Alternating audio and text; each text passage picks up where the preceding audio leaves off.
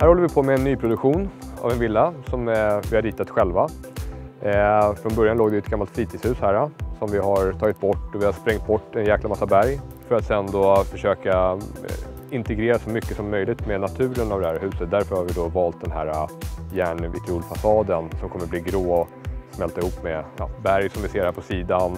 Träet är ju en vanlig dubbelfas 145 mm panel som vi har köpt från Bygg-Olle.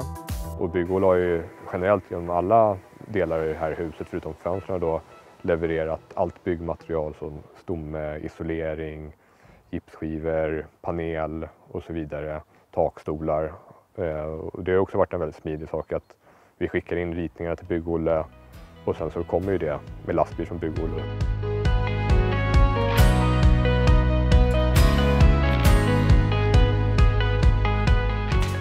Det roligaste med jobbet det är väl att eh, man får skapa någonting. Speciellt nu när man börjar få bort ställningar, man börjar se invändigt hur det kommer börja bli. Och här. Oavsett hur länge man har hållit på med det så kommer det alltid vara lika kul när man kommer till just de här stadierna. Att man, man får den här vad ska jag säga, en lycklig känsla inom sig som gör att eh, man, man känner att man har gjort någonting konstruktivt. Nu har vi ändrat om lite grann här på planlösningen eh, från ursprungsritningarna här. Då. Det är ju fördelen när vi bygger i lösvirkeshus då, att eh, vi hela tiden kan anpassa vartefter vi bygger. Då är det ju väldigt lätt att nu har vi ju byggbolaget otroligt nära här också. Då kan vi ju ringa till dem och så på eftermiddagen eller på morgonen så får vi leverans med det materialet vi behöver ha för att kunna göra de här eh, justeringarna eh, på det vi har tänkt då.